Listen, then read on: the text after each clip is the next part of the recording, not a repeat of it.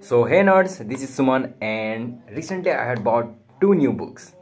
So which are actually entirely different from my course book, right? Because I want some additional knowledge about physics. So I bought this book and these two books actually contradict with each other if you know that. So you know that the quantum mechanics and relativity they contradict with each other. So there is a Einstein who say the action at a distance and there is someone who is establishing quantum mechanics saying this is true. So recently i bought these two books. So my, my, my front camera uh, turns the page like this. It is uh, actually einstein's relativity. Oh sorry. This is albert einstein and this is relativity right?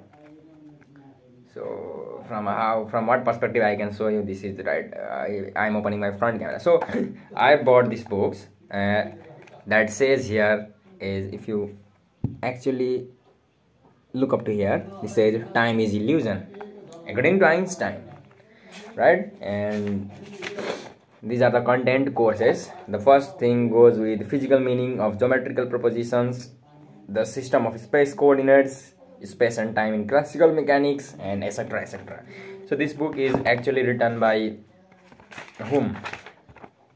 The writer so i forgot the writer. So i want to understand relativity right? And if you know about relativity something you can actually make some comments in it.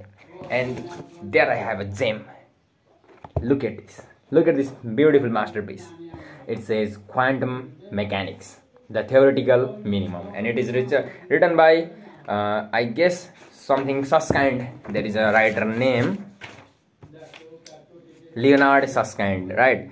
And this is the quantum mechanics book. And i think i bought this in my currency 300 rupees or it 480 rupees right? Actually round off it is 500 rupees and it is more than uh, 1000 or 1200 rupees. So i bought these two contradiction books so that i can learn more about quantum mechanics and relativity. So whether it is good or bad choice you guys have to tell me in the comments. So if you have to choose from these two books what would you choose?